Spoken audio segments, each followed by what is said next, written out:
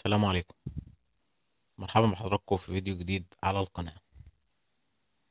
أي حد في الدنيا ممكن يحس إن مزاجه بيتغير وإنه بيفرح في أوقات ويحزن في أوقات وده طبيعي.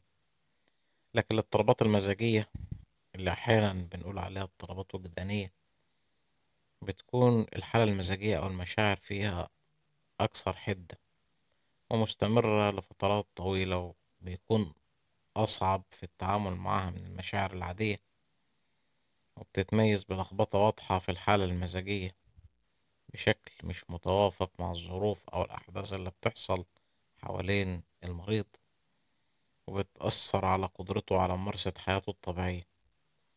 ولازم نكون فاهمين إن الحالة المزاجية دي هي المشاعر اللي بتستمر لفترات طويلة وبشكل مستقر وبتنعكس على سلوكيات المريض وتعامله مع الحياة اللي حواليه الاضطرابات المزاجية لها نوعين أساسيين.